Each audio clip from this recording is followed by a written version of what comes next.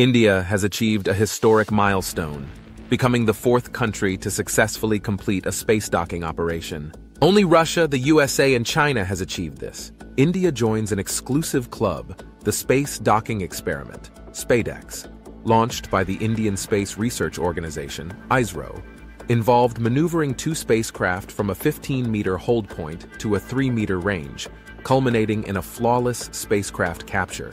The operation included smooth retraction and rigidization to ensure stability, with post-docking tests confirming control of the two satellites as a unified system. Upcoming phases will focus on undocking and power transfer validation, the source claims. The mission had a dual purpose, to demonstrate advanced docking and undocking technologies for small spacecraft, and to enable electric power transfer between docked units. These advancements are critical for in-space robotics, composite spacecraft control, and post-undocking payload management.